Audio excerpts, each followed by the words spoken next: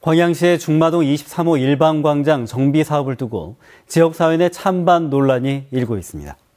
광양시는 중마동 23호 일반광장에 시설 노후화로 도심 경관을 저해할 뿐 아니라 야간 청소년 우범 지역으로 전락하고 있다고 보고 사업비 14억을 들여 바닥 분수와 잔디블럭 주차장, 조형 파고라 등을 조성하는 정비 사업을 추진할 계획입니다.